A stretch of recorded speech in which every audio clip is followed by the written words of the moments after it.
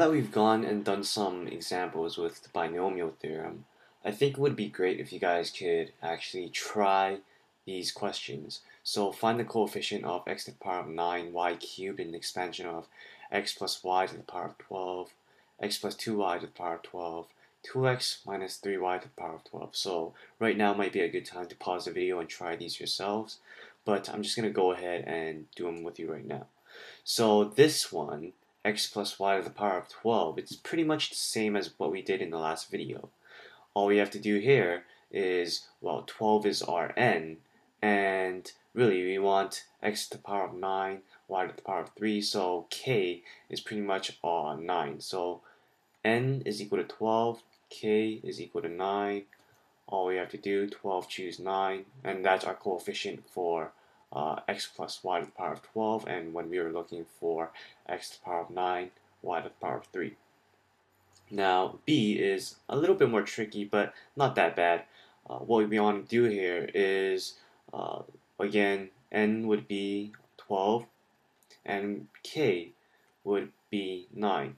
So, our n minus k would be 3, because 12 minus 9 is 3.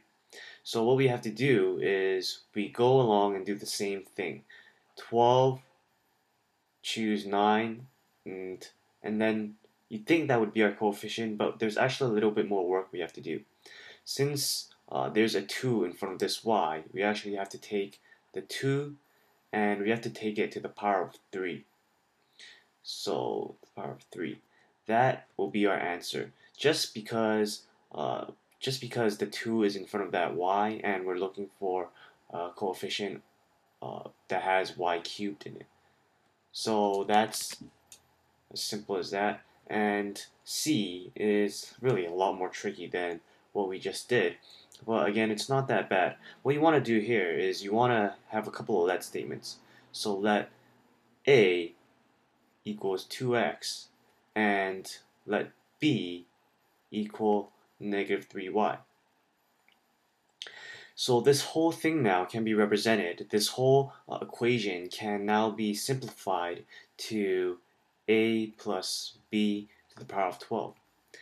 And this x9 to x9y cubed, x9y cubed can also be simplified to a9b3. Then all we have to do is we have to look for this, the coefficient of this, in, in the context of a plus b to the power of 12. So let's just do that. So in our case right now, n would be equal to 12, like always, and we're looking for uh, we're looking for n choose k, right? So then our k would be equal to 9, just like before. So nothing there has really changed.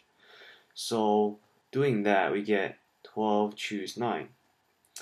But then we also have these uh, A and B's. So using that equation, where's that equation? Using this equation, we also have to factor in those A's and B's. So really, uh, 12 choose 9 is really 12 choose 9, uh, A, 9, B, 3. After this, we want to turn the A's and B's back to their original X's and Y's. So what we have to do is we pretty much, we still have 12 choose 9, but we turn A, 9, and B3 back to their original 2x's and 3y's. And that's pretty simple. We just take the A and just pop in a 2x to the power of 9. Because we have let statement saying that A is equal to 2x, uh, we could just substitute 2x for A. And we do the same for B. So B would be minus 3y. Minus 3y to the power of 3.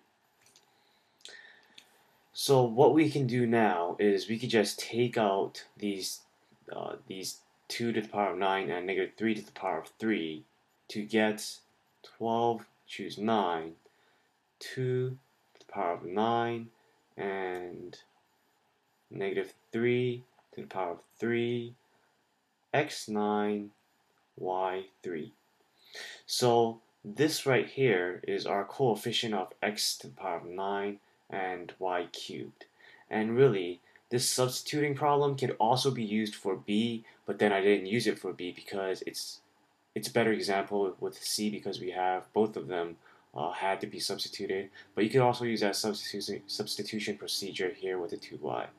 Other than that, uh, those are the examples that I want to go through with you. Hope you guys actually learned how to do it. It's pretty simple once you get into it. So please rate, comment, subscribe if you haven't already.